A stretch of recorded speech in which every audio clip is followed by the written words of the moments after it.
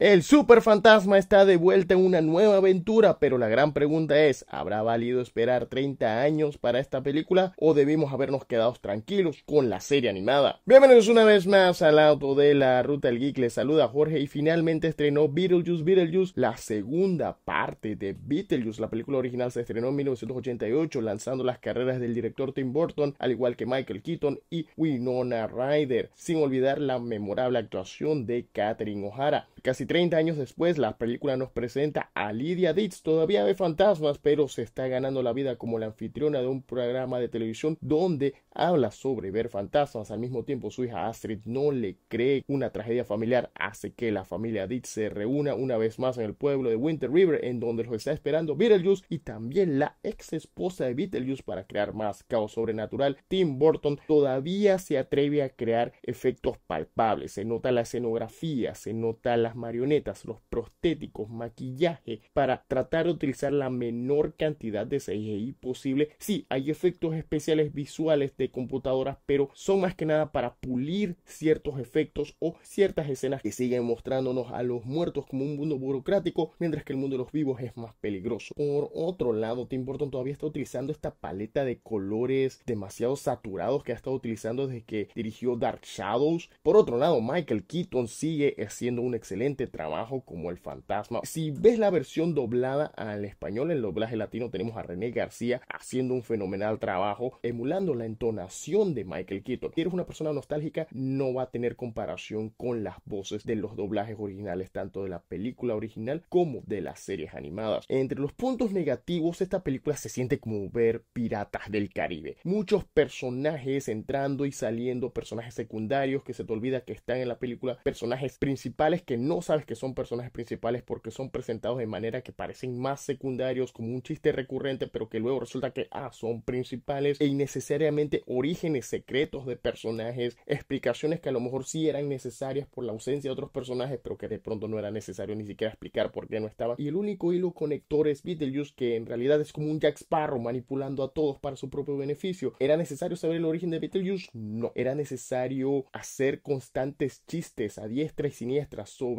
utilizar o no al actor Jeffrey Jones, que por sus problemas legales no pudo ser parte de la película, pero su personaje de Charles Dees es importante tanto en la trama de esta película como en la trama de la película anterior. Era necesario traerlo de vuelta para matarlo, para después decir que está vivo en el más allá de una manera bien grotesca. No, no era necesario ni siquiera mencionarlo. Son una cadena de cosas que funcionan y no funcionan. ¿Es una película mala? Realmente no. ¿Pudo haber sido mejor? Sí. ¿Pudo haber sido una película más sencilla como la película original? Sí, porque lastimosamente hay demasiados personajes demasiadas tramas secundarias ocurriendo por todos lados que ciertos detalles se pasan desapercibidos. Mónica Bellucci que realmente aparece, pero que realmente la película pudo haber funcionado sin ella. Es como si hubiesen juntado todas las ideas que hicieron que esta película se retrasara tanto tiempo en una sola película, que no es una mala película. Hay gente que la va a gustar. Si eres fanático del personaje y de todo su lore, te va a encantar, pero por lo general es una película, como dice en inglés, bien convoluted. Y también la selección musical. La selección musical es bien cuestionable. Desde que se estrenó la película de Beetlejuice en 1988, Winona Ryder era una estrella en ascenso, pero debido a muchas situaciones su estrellato se ha opacado y ahora mismo la actriz Catherine O'Hara, que interpretaba la madrastra de Lydia en la película original y en la nueva película Beetlejuice Beetlejuice, se ha convertido en una actriz mucho más galardonada y reconocida gracias a su participación en la serie Schitt's Creek. Si esto es lo mejor que pudieron sacar en 30 años, quiero que me canonicen la serie animada o que me canonicen el musical porque siento que esas han sido mejores experiencias de Beetlejuice que esta película. A pesar de que la disfruté, siento que pudo haber sido una mejor experiencia para la espera que había. Bueno, será mejor para mí. Muchas gracias por acompañar este video de la Ruta del Geek. Nos vemos la próxima. Dale like y subscribe.